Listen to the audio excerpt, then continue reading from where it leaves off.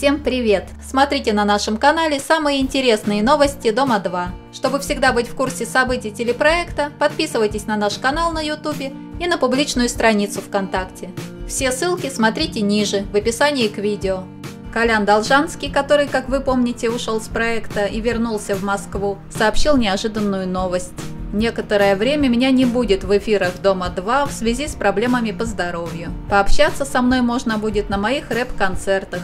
То есть Колян покинул проект лишь на время. Не прошло и дня после расставания с Димой Дмитренко, как Коля Рапунцель объявила кастинг.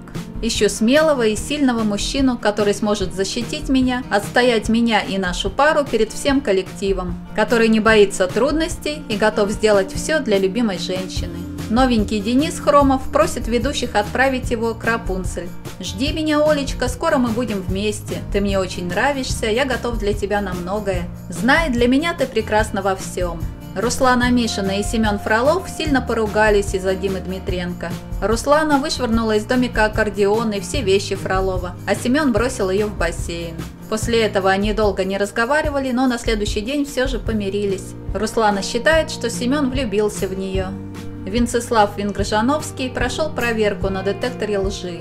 Проверка показала, что у Короля и у Венца был интим как на проекте, так и вне проекта и что король действительно брала у Венчика 400 тысяч рублей. Катя не собирается мириться с несправедливостью. Она пишет, «Я считаю, что Венц психически неуравновешенный человек. Все его девушки, Баловичева, Токарева, Чепизубова и многие другие, в том числе и я, утверждаем, что с Венцем секса не было. С чем это связано, лично мне не интересно.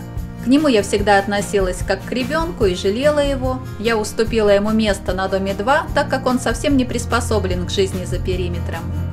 Я пройду независимый детектор вне проекта и предоставлю вам результаты.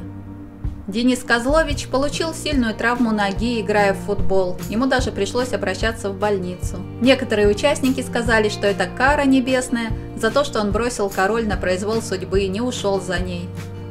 Глеб и Оля Жемчуговы были на выходном в зоопарке. Ну, наконец, вместе хоть где-то гуляете, комментируют подписчики. Приятно посмотреть.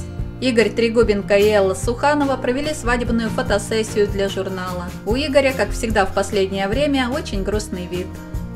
Настя Волынец, к которой пришел ее бывший парень Богдан, рассказала о цели своего появления на Доме 2.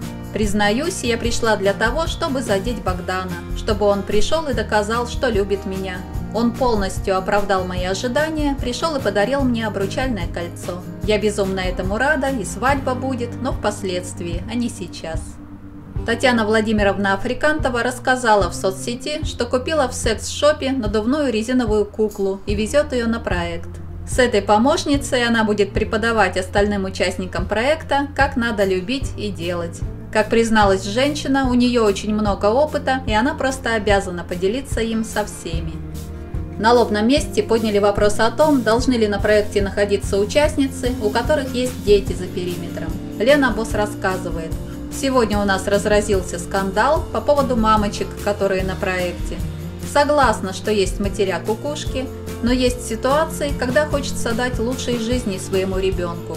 И делаешь все ради него. Я все время с сыном на связи, так же как и новенькая Настя и Гозиас. Мы любим своих детей и только ради них идем к цели. На этом все. Спасибо, что были с нами. Ставьте лайки, комментируйте, подписывайтесь на наш канал на YouTube и на публичную страницу ВКонтакте. Ссылка есть в описании к видео. Всего вам доброго!